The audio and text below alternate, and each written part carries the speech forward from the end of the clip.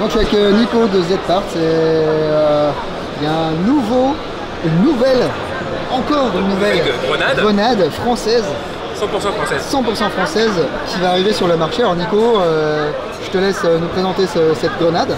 Je vais prendre la bleue hein, parce que c'est les couleurs Z-Parts. Ouais, Donc voici la nouvelle grenade. Donc on est sur un, pro- sur un produit qui est 100% euh, made in France, donc fabriqué et assemblé en France. Donc c'est une grenade gaz impact dans laquelle le, le joueur vient mettre 100 billes. Alors pourquoi 100 billes On aurait pu faire plus, on aurait pu faire moins. L'avantage c'est qu'aujourd'hui on s'est rendu compte sur les terrains que les joueurs euh, veulent remplir vite et facilement leur grenade. Donc on est parti sur la contenance d'un baby loader classique qui est fourni généralement dans toutes les répliques. Donc 90 billes plus si c'est rempli à fond un peu plus, ce qui fait 100 billes. Ce qui fait qu'on n'a pas besoin de prévoir un gros baby loader euh, high cap. Un baby loader d'origine, ça suffit. Alors qu'est-ce qui est nouveau sur la grenade? Donc si les gens connaissaient euh, les produits Z-Pars, il y avait la première, la GZ classique et la GZ Typhoon qui étaient faites pareil, 100% en France mais en full CNC, donc full aluminium de T6. Là aujourd'hui on part sur de l'injection. L'injection pour pouvoir euh, descendre les coûts, augmenter les capacités de production, mais euh, en restant dans les mêmes normes de qualité et de longévité de nos produits. Alors ce qu'il faut savoir c'est que on va rester sur les mêmes composants internes, donc là ils ne sont pas dans la grenade, c'est c'est une grenade de présentation. donc ça c'est euh, pour l'instant c'est de l'imprimé 3D. là. Ça c'est l'imprimé 3D. Il faut savoir que la grenade injectée, ça sera exactement la même chose. D'accord. Ça c'est les fichiers 3D qui ont servi à effectuer les moules. Voilà. Donc elle est composée de trois parties. Donc la cuve. La cuve, ici on aura le joint bleu et la bille comme sur les autres grenades.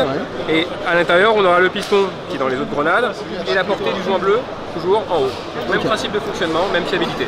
Mais plus légère euh, et plus Plus, petite. plus légère, plus petite. On a ici la portée du, joint torique.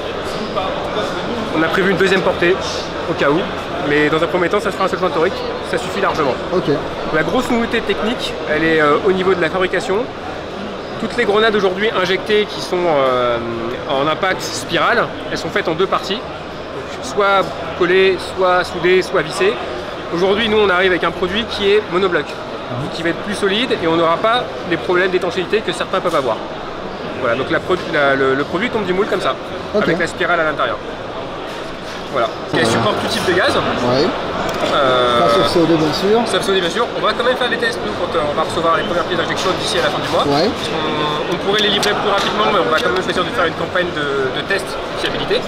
Voilà, bien, bien étudier le produit, bien voir quelles sont les petites faiblesses s'il y en a. On espère qu'il n'y en aura pas du tout. Euh, on est parti sur un polymère haute densité. Euh, c'est pas les mêmes matériaux qu'on peut retrouver sur les grenades actuelles du marché. c'est pas nylon fibré, c'est pas. Pas, un pas un nylon fibré, on en dira plus quand euh, le produit sera sorti. Ouais, ouais, ouais. C'est un matériau qu'on a bien étudié avec le, le mouliste. C'est un gros travail qu'on a fait avec le mouliste, ce qui permet d'avoir un matériau qui va supporter le froid, les chocs à répétition euh, et toutes les contraintes qu'on peut avoir quand on utilise du gaz airsoft. D'accord. Voilà, à savoir qu'on a toujours une partie liquide dans la grenade.